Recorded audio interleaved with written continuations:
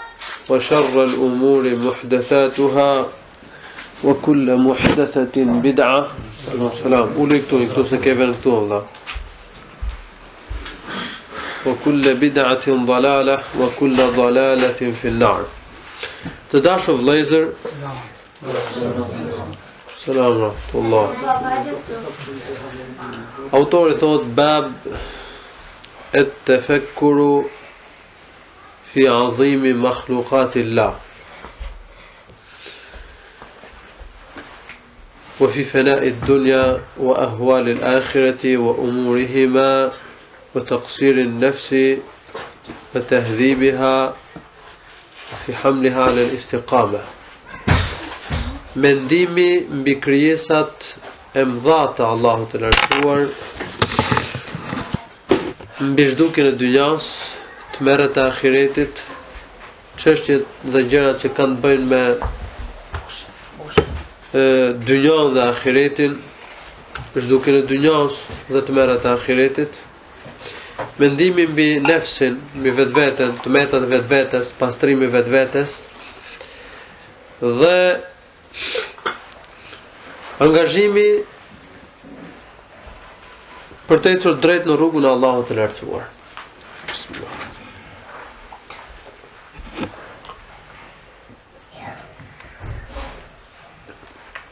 Së pari atëherë do të flasim për meditimin mbi krijesat e Zotit. Allahu i Lartësuar ka krijuar krijesat mëdha të ndërlikuara të mrekullueshme. qiejt e lartë, toka, njeriu që jeton mbi tokë, i cili ka lindur dhe vdes, dhe shumë të tjera. Këto janë krijesa mahnitëse. Këto tregojnë për krijuesin e tyre. Çdo krijesë është tregues për krijuesin.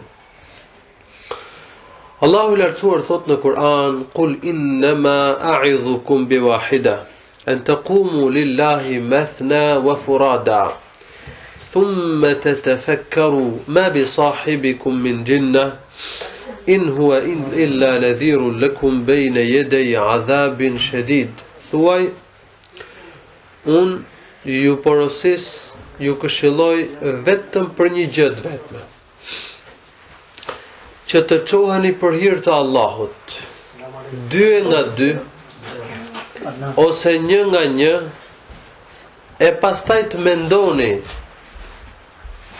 të mendoni mbi të dërguarin tuaj, mbi Muhammedin sallallahu alaihi wasallam.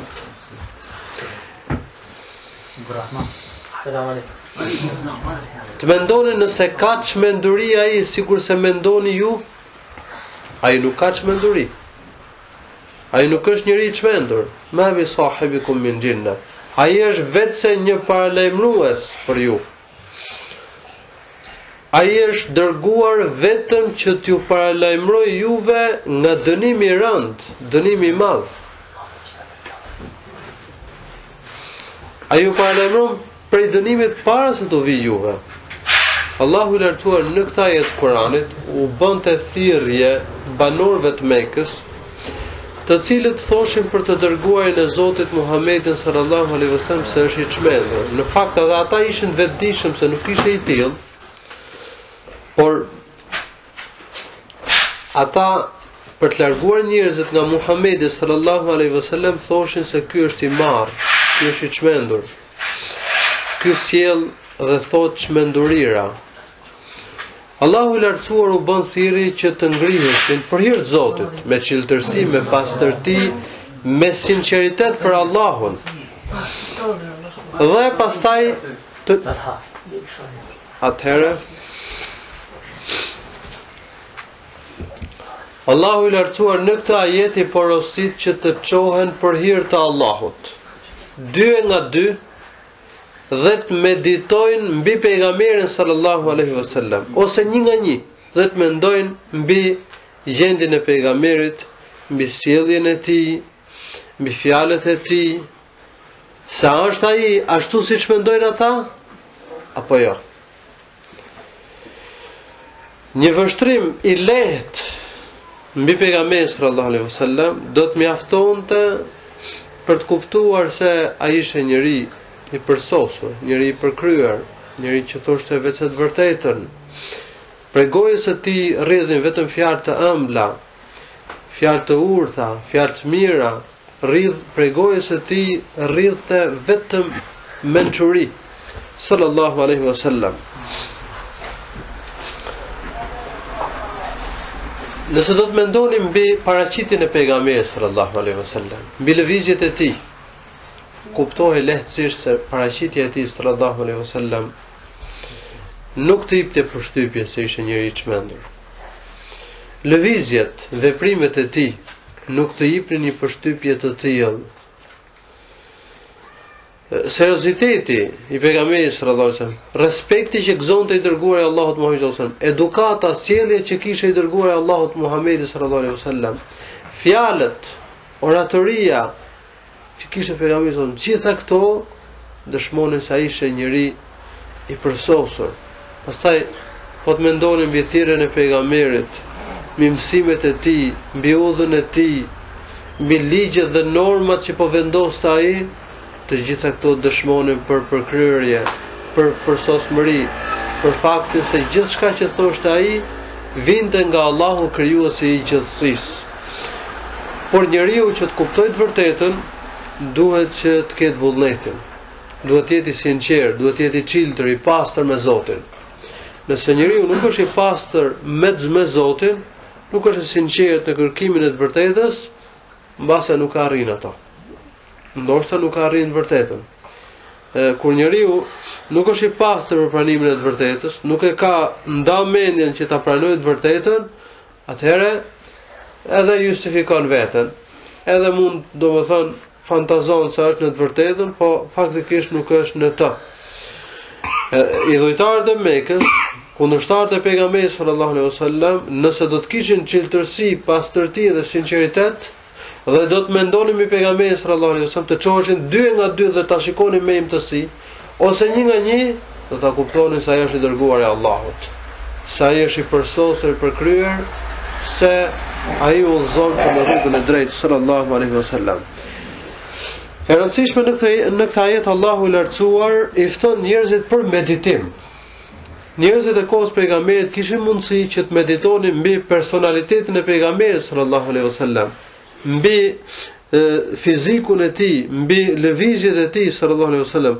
Ndërsa ne sot kemi mundësi të mendojmë mbi Kur'anin që flet për Muhamedin sallallahu alaihi wasallam, mbi hadithet e pejgamberit të cilat na përshkruajnë hollësisht pejgamberin, na japin detaje për fizikun, për tiparet fizike të Muhamedit sallallahu alaihi wasallam. për lëvizjet e tij, për sjelljen e tij, për edukatën e tij, për etikën e tij, për normat e natyrshme të cilat i respektonte i dërguari i Zotit Muhamedi sallallahu alaihi wasallam. Përshkruhet hollësisht ibadeti i pejgamberit sallallahu alaihi wasallam, marrëdhëniet dhe lidhjet e tij, raportet e tij me njerëzit sallallahu alaihi wasallam. Këto gjëra janë përshkruar në jetëshkrimet e pejgamberit sallallahu alaihi wasallam në librat e hadithit, kështu që nëse njeriu do të meditojë mbi përshkrimin e pejgamberit sallallahu alaihi wasallam, mbi jetëshkrimin e pejgamberit sallallahu do të bindet se ai është i dërguar i Zotit. Një ndër mrekullitë e pejgamberit është jeta e tij. Nëse pejgamberi s'do kishte mrekulli tjetër, vetëm jetën e tij do të mjaftonte. Se kush e lexon jetën e pejgamberit nga fillimi në fund, konstaton se ai nuk mund të jetë gënjeshtar. Ai është ai është veçse i çiltër. Ai ka thënë veçse të vërtetën sallallahu alaihi wasallam.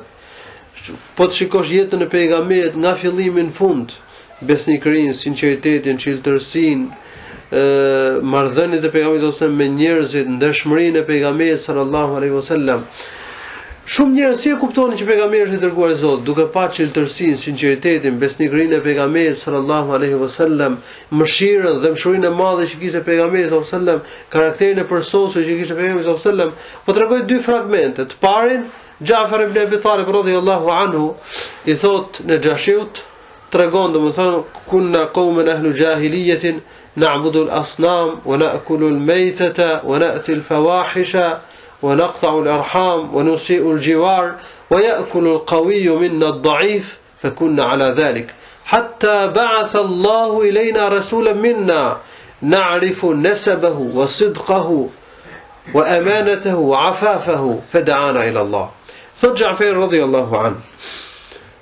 Thotë o mbret, këto fjalë Xhaferi ia drejton Nexhashiut, mbretit të njerëzve në Abisini, ndërkohë që kishin ardhur dy vetë nga Meka dhe doshin që emigrantët muslimanë që kishin shkuar pas në Abisini t'i kthenin prapë për në Mekë, që të vazhdonin torturat për ta. Këta kishin ikë për, për t'u shpëtuar torturave. Dhe Xhafer ibn Abi Talib vendosi t'i tregonte drejt Nexhashiut, i tha o mbret, Ne kemi qenë njerëz idhujtarë. Ishim idhujtarë. Adhuronim putat. Hanim ngordhësirën. Banim punë të turpshme, punë të këqija. Ë nuk i respektonim lidhjet farefisnore. Nuk e ruanim lidhjen, nuk e ruanim fqinjësinë e mirë, nuk kishim lidhje të mira me fqinjët. I forti prej nesh hante të dobtin, domethënë në vendin tonë ushtrohej tirani, dhunë, padrejtësi, kishe shtypje, derisa Allahu subhanahu wa taala na solli një pejgamber prej nesh. Ne e njohim mirë prejardhjen e tij.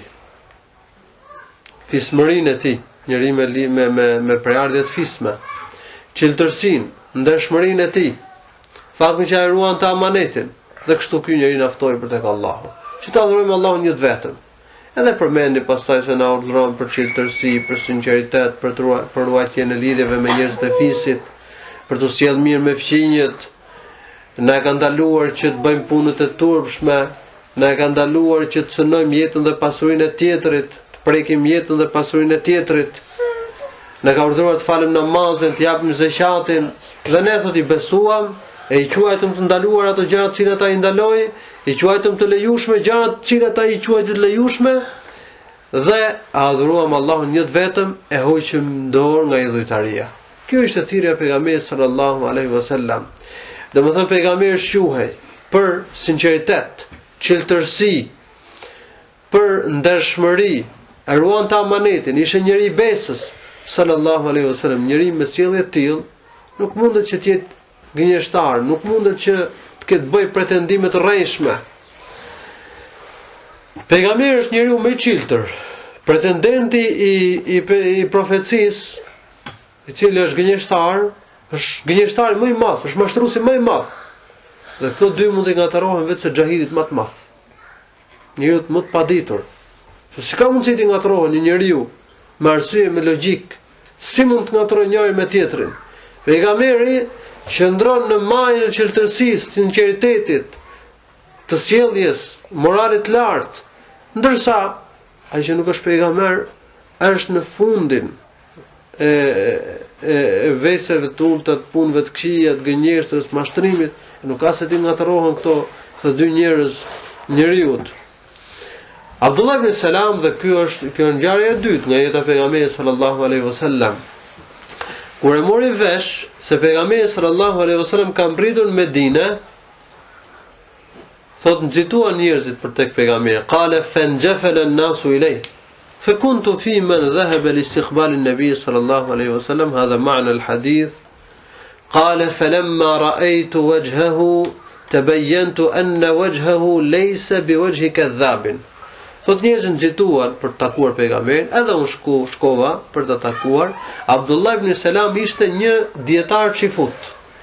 që ende s'e kishte pranuar islamin.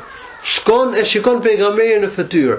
Thotë, kur e pashë pejgamberin sallallahu aleyhi vësallem në fytyrë e dallova që nuk kishte fytyrë gënjeshtari. Edhe në fytyrë dallohej. Njeri me fytyrë të rrumbullakët, të çelur, të hapur, të bardhë, me mjekër të zezë, fytyrën e kishte disi të mbushur, fytyra i shkëlqente, Kishte shkëlqim më të madh se sa Hana në natën 15, sikurse tregojnë transmetuesit, dhe kur e pash fytyrën dallohej që fytyra e tij nuk ishte fytyrë gënjeshtari. Sallallahu alaihi wasallam.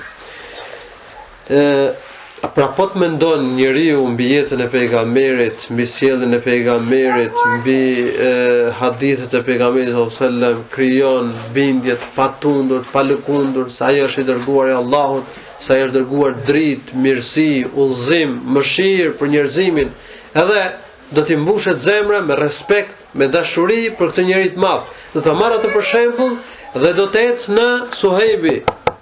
Do të ecë në gjurmët e tij sallallahu alaihi wasallam.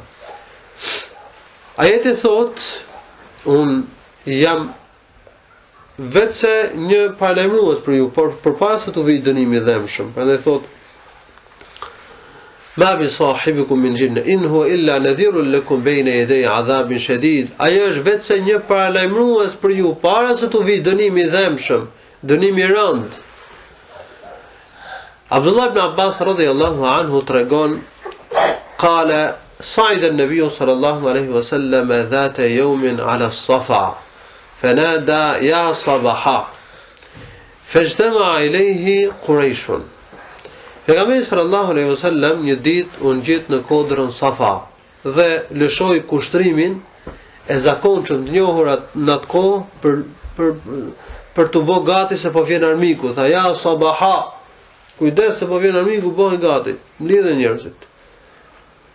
Domethënë kjo ishte një fjalë që që thuhej për t'u mbledhë njerëzit. U mblodhën te kodra Safa.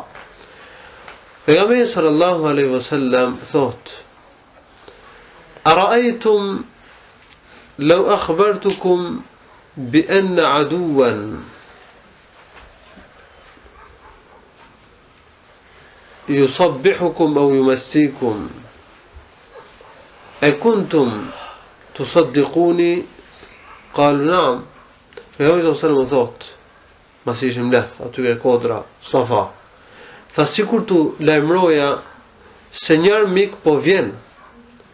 Dhe në të gdhirë ose në të ngrysur ka për t'ju zaptuar. A do të më kishit besuar? Thanë po. Pejgamberi sallallahu alaihi wasallam atëherë tha: "Fa inni nadhirun lakum bayna yaday adhabin shadid." Unë ju paralajmëroj që të ruheni nga dënimi i rëndë, dënimi i madh. Çfarë thanë?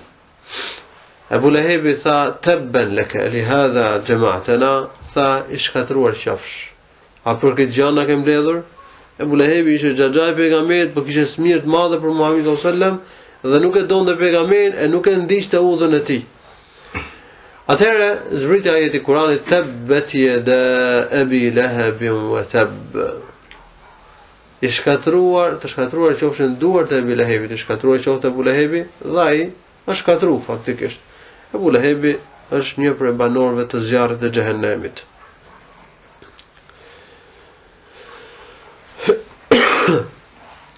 Pastaj autori ka sjellë ajetin tjetër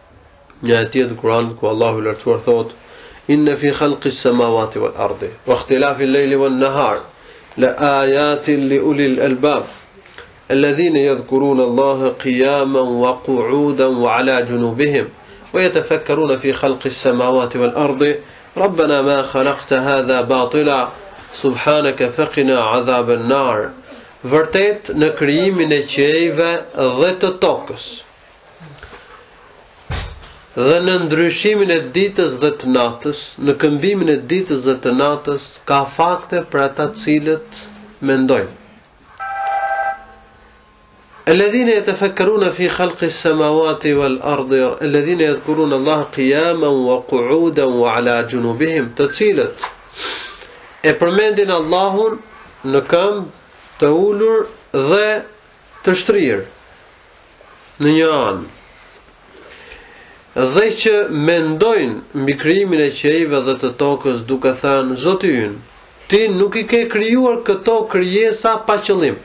Kot. I pastër dhe i lartë je ti nga gjërat që nuk të përshtaten ty. Ti je i pastër nga kotësia. Besoj se ti je i pastër nga të metat, nga mangësia, nga kotësia. Fekina adhaben nar. Na ruaj nga dënimi i zjarrit të xhehenemit. Qiejt e lartë janë të mbushur me argumente për Zotin Kanë plot shenja dhe, dhe tregues për Allahun. Dielli dhe hana. Dielli kjo, kjo krijesë gjigante që çliron energji dhe që sjell dritë në tokë. Allahu subhanahu wa taala e ka krijuar këtë krijesë të madhe. Njerëzit mahniten me bëmat e shkencës në kohën tonë. Për shembull thonë shkenca ka sjell energjinë. Sjell shkenca ka bë këto dhe ka bë ato. Po të mendoj mbi krijesat e Zotit. Çfarë energjie vjen në tokë që bëhet gjithë drita gjatë ditës?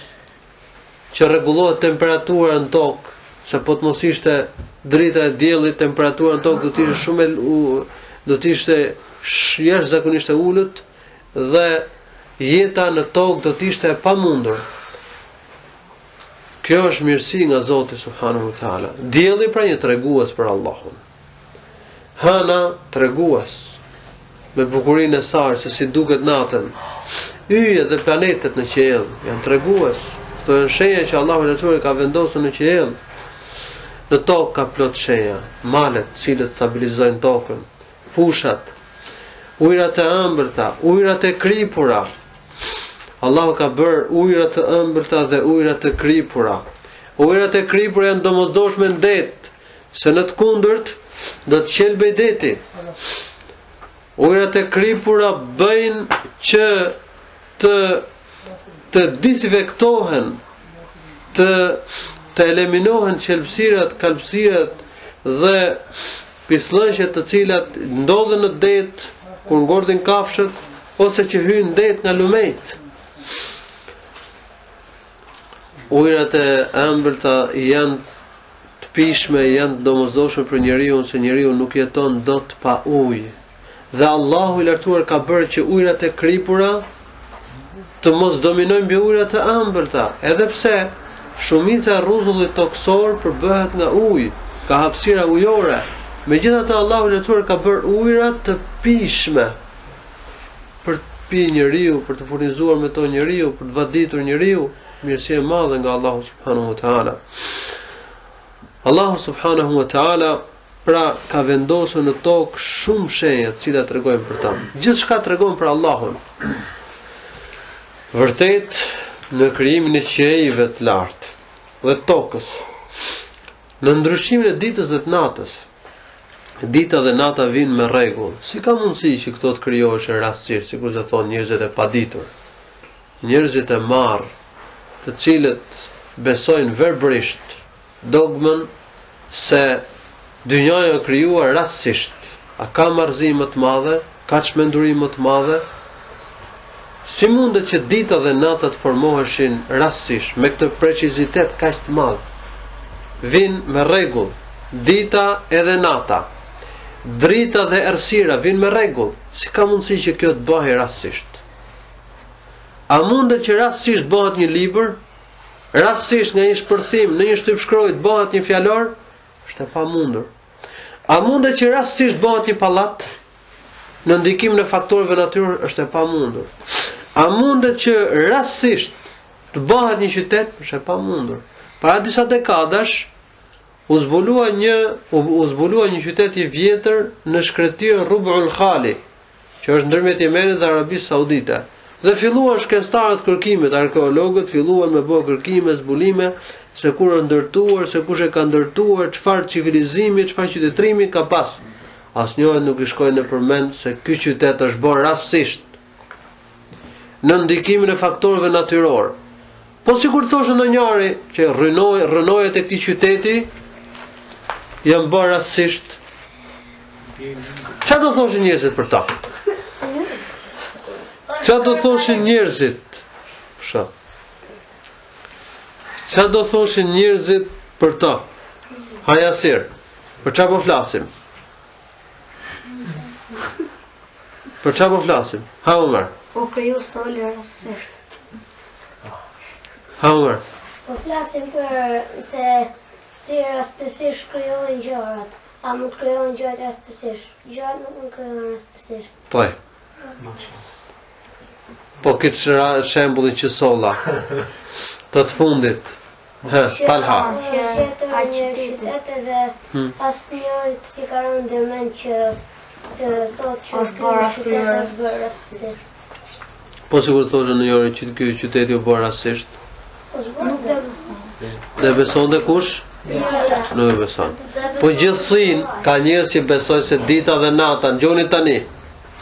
Ka njerëz që besojnë se dita dhe nata u bënë rastësisht, se njeriu është bërë rastësisht, se ujërat e kripura dhe të ëmbërta janë bërë rastësisht, se jeta dhe vdekja në tokë u gjetën rastësisht, se e ëmbërta dhe e hidhta ekzistojnë rastësisht.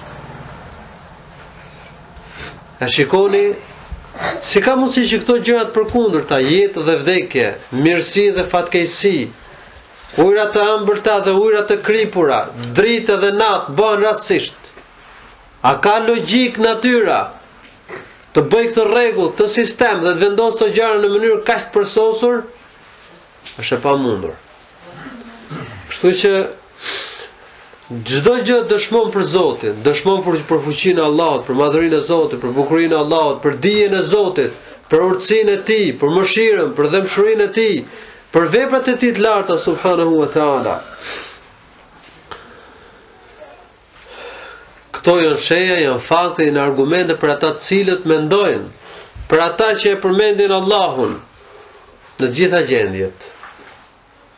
Në këmbë të ulur dhe të shtrirë në një anë. Dhikri ndahet dy llojesh. Kemi dhikrin që nuk ka kufizim, cili mund ta bësh pa kufizim kohor,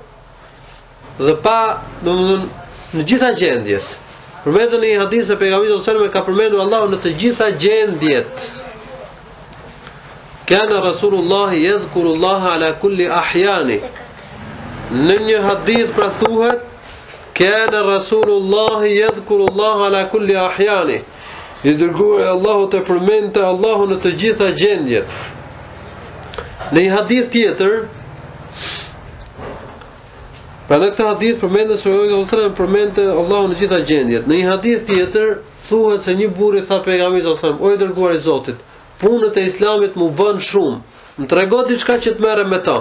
Pejgamberi sallallahu alajhi wasallam i tha: "La yazalu lisanuka rutban min dhikrillah." I tha: "Përmende rregullisht Allahun.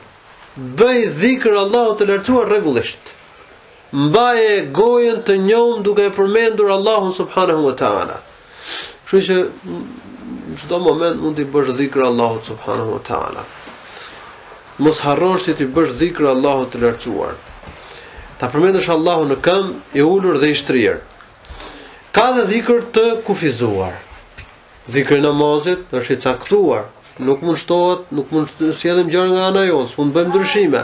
Dhe do ta bëjmë dhikrin ashtu siç e ka bërë pejgamberi, dhikrin mas namazit, do bëjmë dhikrin që bënte pejgamberi dhe sipas formës që e kryen pejgamberi sallallahu alaihi wasallam.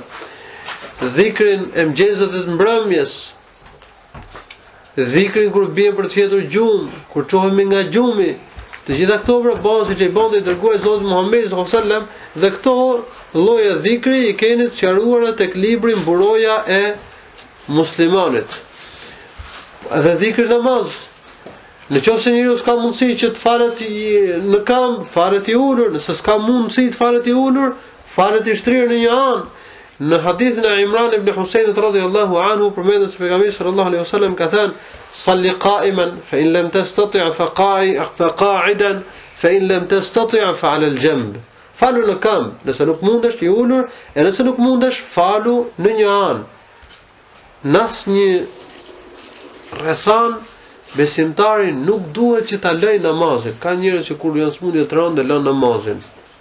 Ka edhe pleq që smuren rand edhe lan namazin dhe vdesin e shkojnë ke Allahu pa namaz. Allahu na ruajt, kjo është shumë e rëndë.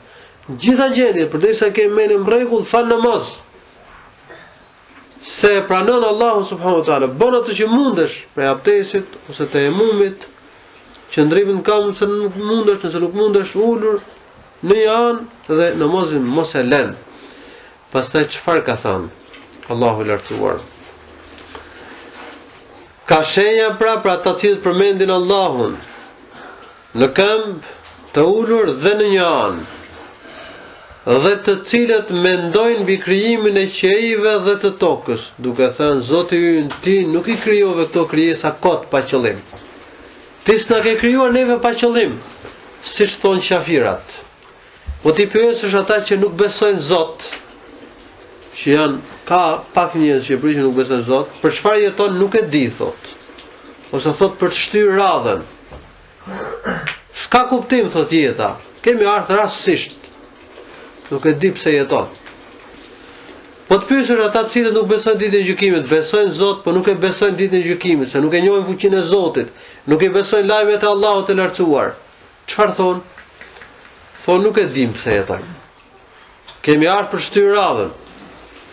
Nuk e dimë pse jetojmë. Ndërsa muslimani e di pse jeton. E di pse e ka krijuar Allahu i Lartësuar. Allahu e ka krijuar që të adhuroj Zotin. Prandaj besimtari thotë, ti s'i ke krijuar këto krijesa kot? Këtë krijesë Allahu e krijoi për ne që ne t'i bëjmë ibadet Zotit. Këto krijesa Allahu i krijoi në shërbim të njeriut, diellin. Këtë krijesë gjigant, gjigante dhe të madhe, Allahu e krijoi për ne. Hënën e krijoi për ne. Qiejt e lartë janë krijuar për ne. Toka është krijuar për ne. Tokën Allahu e bëri të përshtatshme për ne. Prandaj Allahu ka thënë në Kur'an: "Huwa alladhi khalaqa lakum ma fil ardi jami'a." Allahu i lartësuar është ai i cili ka krijuar për ju gjithçka në tokë.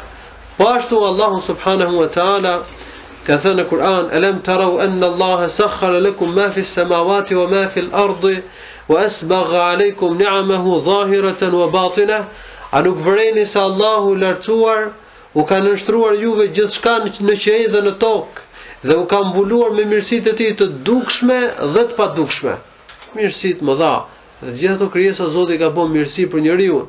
E njeriu është krijuar për Allahun, që t'i bëj ibadet Zotit subhanahu wa taala. Qiejt edhe toka u krijuan para se të krijohej njeriu. Por qiejt edhe toka, dita dhe nata, Kafshët dhe gjithçka që u krijua në tokë, u krijua në përputhje me misionin e njeriut, me detyrën e njeriut dhe në shërbim të njeriut. Kjo kuptohet nga ajetet e Kuranit të Madhërueshëm.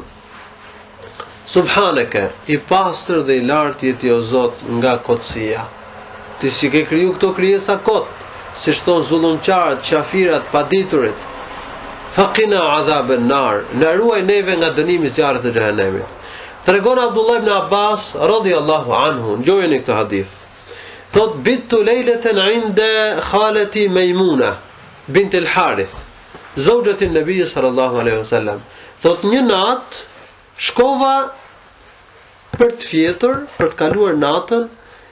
Tek tezja ime Mejmune bint El Harith. Mejmunja ishte gruaja e pejgamberit sallallahu alajhi wasallam, një nga gratë e Muhamedit sallallahu alajhi wasallam, nënë e besimtarëve. Kështu që Abdullah ibn Abbas e kishte teze se ishte motra e Ummul Fadlit, Umul Fadl nëna e Abdullah ibn Abbasit, por nga ana tjetër e kishte edhe nën sepse ajo ishte grua e pejgamberit dhe gratë e pejgamberit janë nënat e besimtarëve. E rëndësishme, Abdullah ibn Abbas radhiyallahu anhu shkon aty se kishte lidhje farefisnore me ta. Se të tjerët nuk kishin drejt hynë te gratë e pejgamberit sallallahu alajhi wasallam dhe dhe nuk kishin drejt kërkojnë diçka prej tyre pa qenë pa pas perde. Ndërsa ky shkon, edhe kalon natën aty. Thot shkova, Për ça shkon Abdullah ibn Abbas në këtë shpi? Shkon për të parë se ça do bënte pejgamberi sallallahu alajhi wasallam. Në çfarë moshe ishte Abdullah ibn Abbas? Ha Umar. Ëh, naim. Kana saghiran. Ishte i vogël. E si puna jote.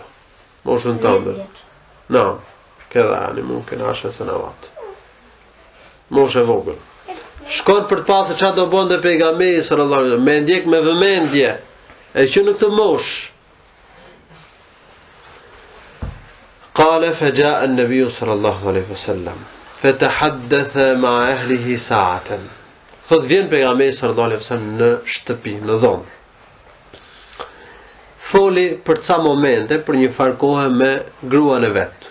Foli, bisedoi me ta. Çfarë hallesh kishte, ai bëri bisedë me gruan? Qala thumma raqada. Raqada, e pastaj ra për të fjetur gjumë. Qala falamma kana thuluth al-akhir min al-layl qama. Thot istayqadha. Kur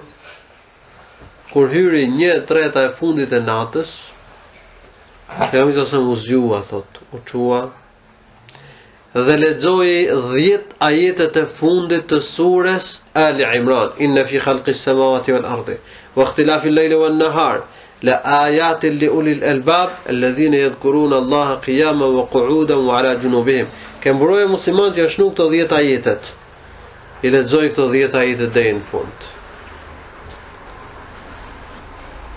Shikoi nga qielli thotë dhe i lexoi këto 10 ajetet.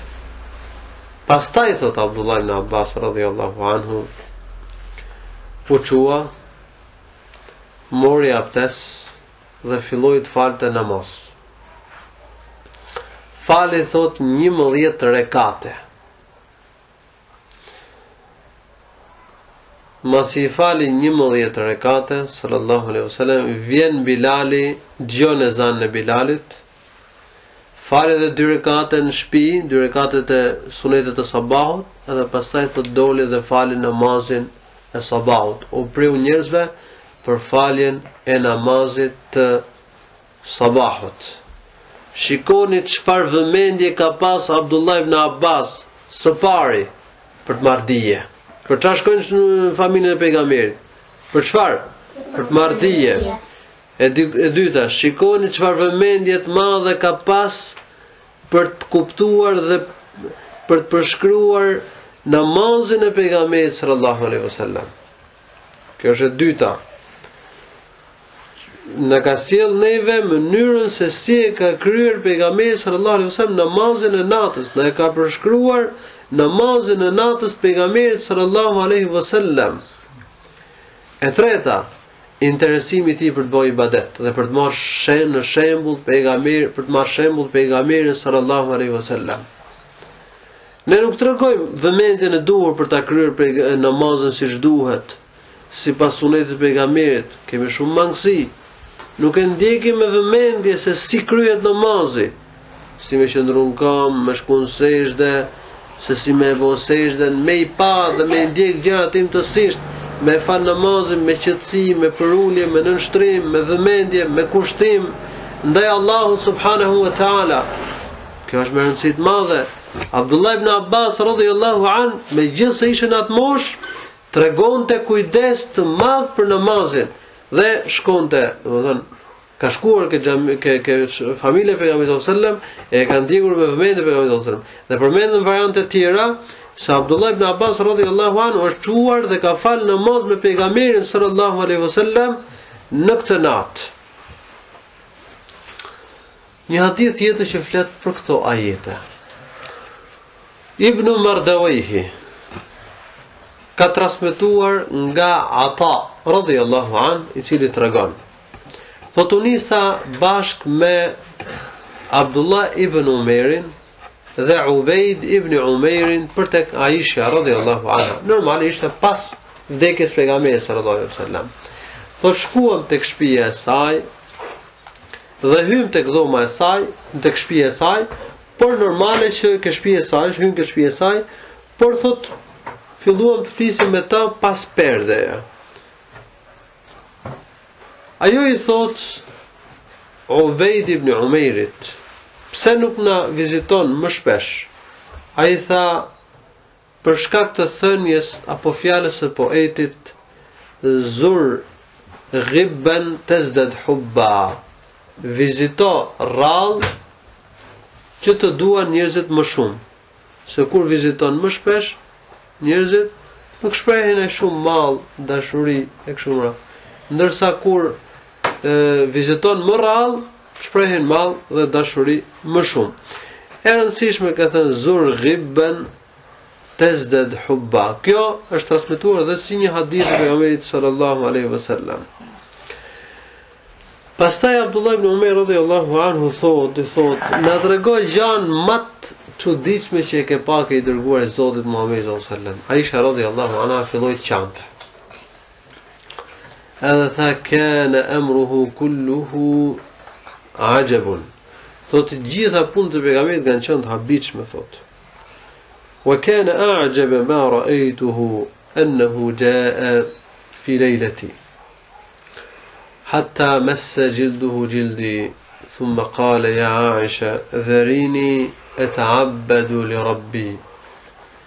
Thotë një natë, kur unë kisha radhën, thotë, vjen Pejgamberi sallallahu alajhi wasallam tek dhoma ime, më afrohet dhe pastaj tha, O Aisha, më lër që t'i bëj ibadet Allahut të lartësuar. I thashë, ja Rasulullah, inni uhibbu qurbak, wa inni uhibbu an tata'abbada li rabbik. Thashë o i dërguari i Allahut, mua më pëlqen që të qëndroj pranë teje,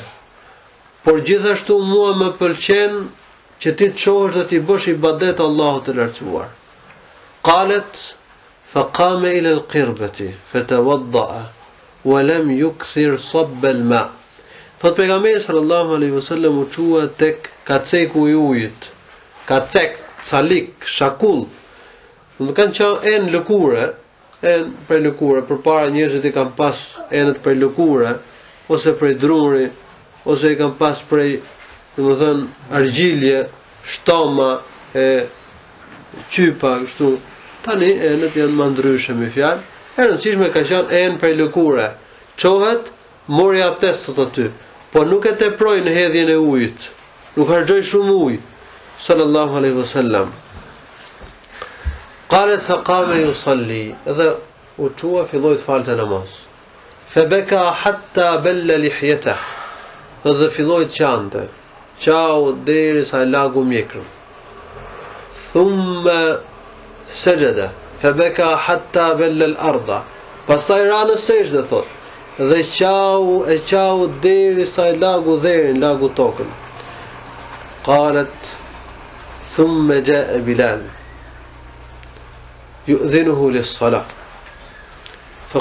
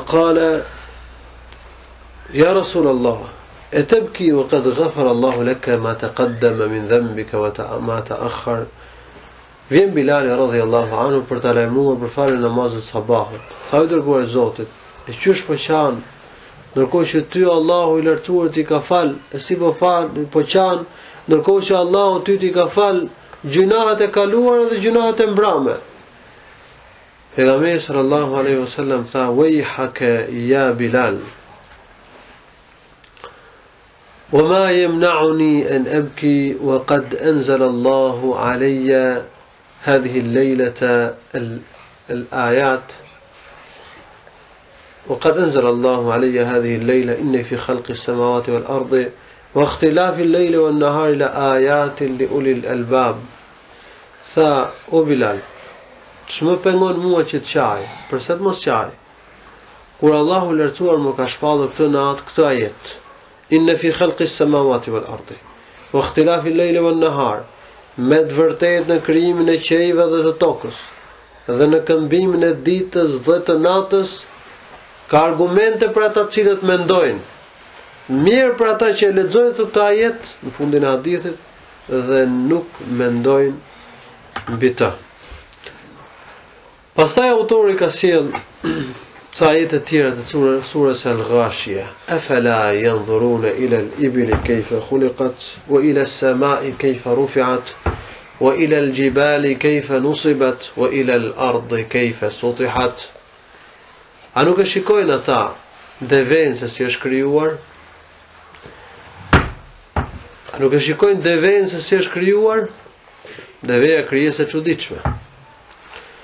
Është një ndër kafshët më të mëdha, më të fuqishme. Por e çuditshme është se ajo ban barrë të rëndë, njeriu e ngarkon atë. Ajo është më e fuqishme se njeriu, po njeriu arrin që ta ngarkojë. Dhe njeriu i dobët e merr për dore, dhe fëmija e merr për dore dhe tërheq devenë. Një krijesë e madhe, kafshë e madhe e merr fëmija dhe e tërheq. Edhe një krijesë e dobët, njeriu e merr e tërheq, e përdor, e shfrytëzon. Allahu subhanahu wa taala e ka bërë krijesë të çuditshme.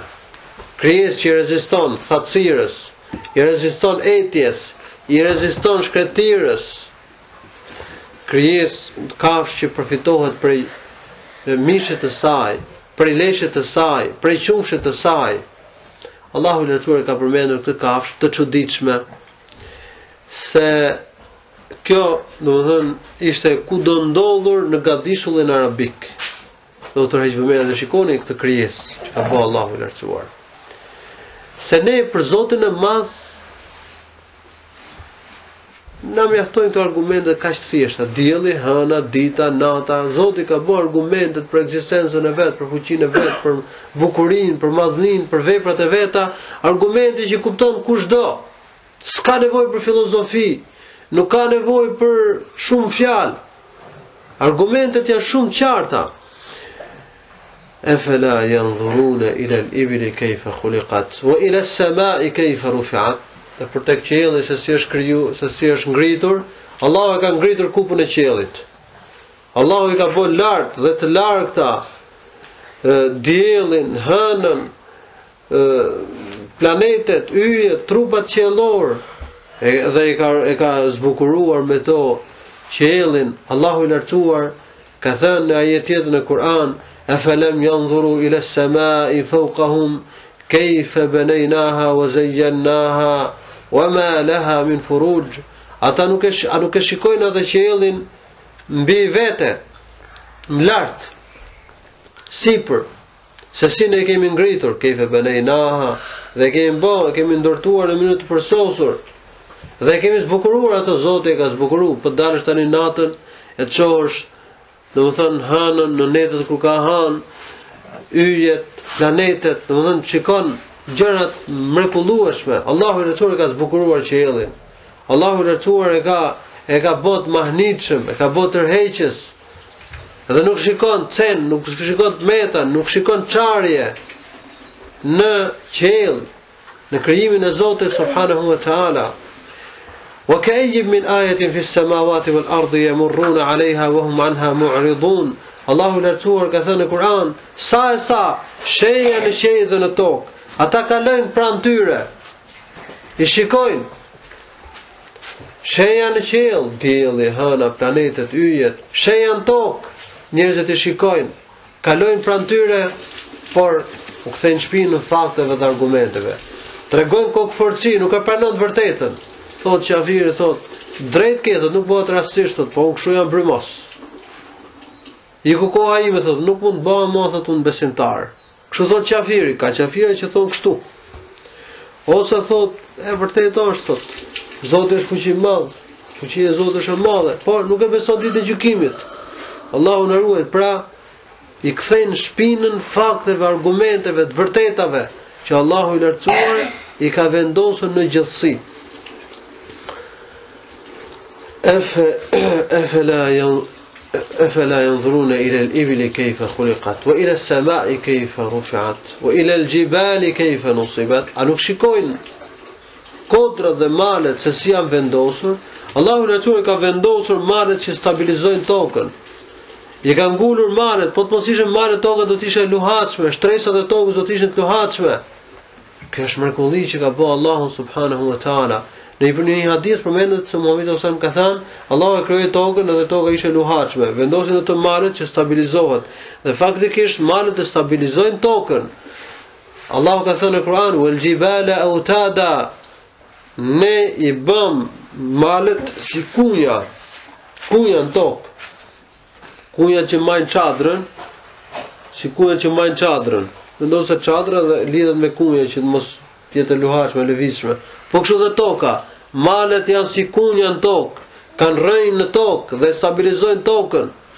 Këto janë gjëra që janë zbuluar, i ka zbuluar shkenca domethënë më thellësisht në kohën tonë, po janë gjëra që i ka përmendur Kurani fisnik, Edhe kjo tregon për madhështinë e krijimit, për veprat e larta të Allahut të lartësuar, janë shenja dhe tregues për Allahun subhanahu wa taala. Wal jibala awtada. Ka thënë Allahu subhanahu wa taala pastaj në Kur'an Wa ila al-jibali kayfa nusibat wa ila al-ardi kayfa sutihat. A nuk shikojnë ata tokën se si është bërë e përshtatshme për të jetuar në të? Allahu subhanahu wa taala ka bërë tokën përshtatshme për të jetuar në të. Ka në të fusha, ka në të rrafshnalta, jetojnë njerëzit mbi tokë dhe gjejnë gjitha kushtet të cilat e bëjnë jetën të mundshme dhe domethënë të përshtatshme e komode në tokë. Po sikur Allahu i lartësuar mos e bënte tokën të përshtatshme, jeta në tokë do të ishte e pamundur. Këto janë shenja, janë tregues, janë argumente që Allahu subhanahu wa taala i sjell për njerëzit. Mbi zhdukjen e dynjas, duhet mendojë njeriu për faktin që do zhduket dynjaja, vërtet Allahu i lartësuar ka bo tërheqëse këtë dynja, po do zhduket, njeriu ka për të vdekur, gjëja do të vyshken, dhe dynjaja do bëhet kiameti, do zhduket dynjaja, do bëhet kiameti, duhet mendojë njeriu mbi kiametin, Do të paraqiten, do të ringjallen njerëzit, do të paraqiten para Allahut dhe do të ringjallen të zbathur, të zhveshur, të pasynetuar, kështu do të tubohen para Allahut të lartësuar, do të tubohen njerëzit të zbathur, të zhveshur dhe të pasynetuar, ashtu sikurse u krijuan për herë të parë, do të paraqiten para Allahut të lartësuar. Dhe pasi të paraqiten para Allahut të lartësuar, Allah Allahu do t'i marrë në llogari. do t'u jepen punët, do të peshohen punët, e pastaj njerëzit qafirët do të merren tufa, tufa do të çohen në zjarrin e xhehenemit. Mbeten, mbeten muslimanët dhe munafikët. Do të afrohen për të kaluar në urën e siratit. Muslimanët do të kalojnë në urën e siratit, munafikët do të bien në zjarrin e xhehenemit. E pastaj besimtarët do shkojnë në xhenet, qafirët dhe munafikët, por edhe gjynahqarët e mëdhenj për të cilët Allahu dëshiron që të dënohen, do të vuajnë dënimin në zjarrin e xhehenemit. Duhet të mendojë njeriu mbi këto gjëra. Të mendojë njeriu gjithashtu mbi vetveten. E para të mendosh mbi krijesat e Zotit, i përmendëm fakte, argumente dhe folëm gjerë e gjatë për to. E dyta, mbi faktin që do zhduket dynjaja. Njeriu ka një afat në dynja dhe do vdesë. Duhet mendojë njeriu këtë gjë, ta çojë vdekjen nëpër mend. Se ka njerëz që nuk e çojnë vdekjen nëpër mend fare. A thua se ka për të jetuar për gjithmonë, vetëm për vdekjen thotë mos na fol. Atë punë mos e ço nëpër mend. Për vdekjen nuk duam që të flasim, jemi rahat. Ne muslimanë nuk jemi kështu. Ne e çojmë vdekjen nëpër mend, ne e kujtojmë vdekjen, se kujtimi i vdekjes, meditimi mbi vdekjen, vizitimi i varrezave, bën që njeriu të mendojë më shkurt. Që njeriu t'i heqë fantazitë dhe ëndrrat e tepërta, t'i kushtohet punës, të përgatitet për ahiret. Mendojmë mbi tmerret e ditës së gjykimit. Mendojmë mbi atë ditë kur do të paraqitemi para Allahut subhanahu wa taala. Mendon pastaj njeriu mbi veten e vet. Çfarë të mendojë mbi veten e vet?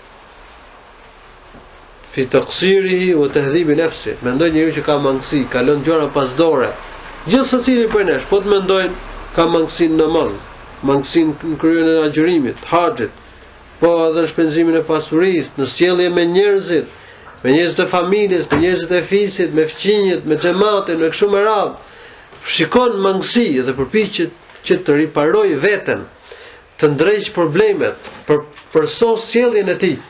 Duhet të mendojë gjithmonë, ne nuk jemi kështu si ata njerëz që thonë, shtiret, thotë unë jam i përsosur, unë jam i mrekullueshëm, unë s'kam gabime, unë s'kam probleme, si unë nuk ka. Ka njerëz në rrugë që thonë tillë, mund gjejmë edhe njerëz në fis, mund gjejmë edhe vëllezër muslimanë që shprehen kështu në këtë mënyrë, ka njerëz që thonë sa unë Nuk ka njeri që ka dashuri për Zotin si unë, që ka pastërti dhe sinqerti, sinqeritet për Allahun si unë, si e kam zemrën unë, nuk e ka kush tjetër, ka njerëz që thonë kështu. Ne nuk themi kështu. Ata që njohin Zotin, që njohin rrugën e Allahut, nuk shprehen kështu si njerëzit e rrugës.